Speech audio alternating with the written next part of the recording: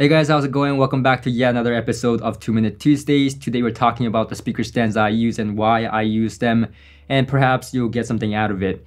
But before we do, I know some of you guys in the comment section have been commenting that my 2 Minute Tuesdays are actually not 2 minutes. And listen, it's a concept, it's a goal, but you know, it's not a rule. Meaning I may hit sometimes 2 minutes, but sometimes I may not don't criticize too much on that and fixate too much on that. The whole point and the concept of the 2 Minute Tuesday videos are to make shorter hi-fi videos for you guys so that you don't have to sit there for 20 minutes and listen to someone talk about speaker stands. So let's do it. Let's drop 2 minutes on the clock. Okay, so the first speaker stands that I use is the Monoprice speaker stands. And the reason I use these stands is because they come in multiple different heights. And heights for speaker stands are extremely important because you want to have the speakers at ear level. Meaning the tweeter here, you want to relatively have it at ear level. Now, some manufacturers would recommend a little bit below ear level or a little bit above ear level to the tweeter. But regardless, Monoprice has 24 inch, 28 inch, and 32 inch stands to accommodate the right height for your speaker stands. Now, the second reason I got it is because it's inexpensive for the quality you get. The build quality is extremely, extremely high quality in my opinion. All metal speaker stand, very heavy to begin with, and you can even fill it with sand and cat litter to the point um, where it's really, really heavy, backbreaking heavy. And that's good for two main reasons. It's sturdy, it's not wimpy, you don't want a wimpy speaker stand, you don't want your speakers falling off.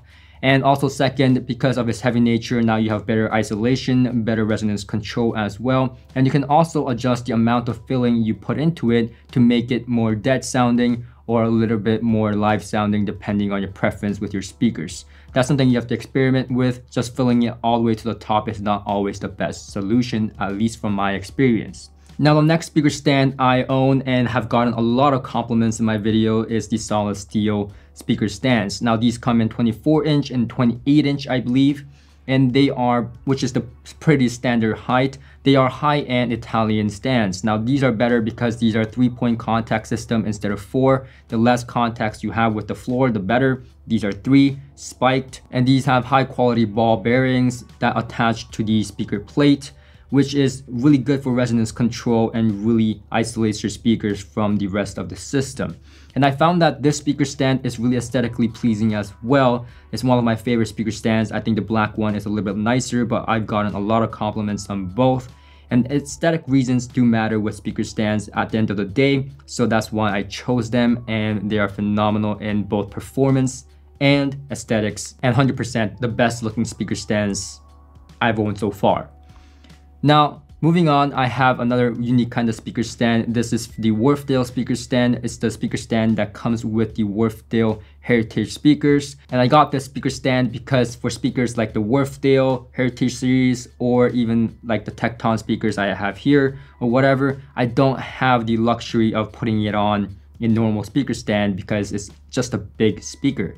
So for stuff like this, like Harbeth speakers, Wharfedale speakers, you know, Tekton speakers that have this type of in a format that requires this type of stand, I found it to be a perfect size and aesthetics again for this purpose. It is high quality. It comes with really nice plates and shoe holders as well, which I really don't use because I don't care about my floors. And above all else, I find it to be the perfect height for speakers like the Wharfedale, Harbeth, and speaker of that type, and really great with resonance control, really high construction for the money asking. There you go. Did I make it? Hopefully I did. Alright, until next time.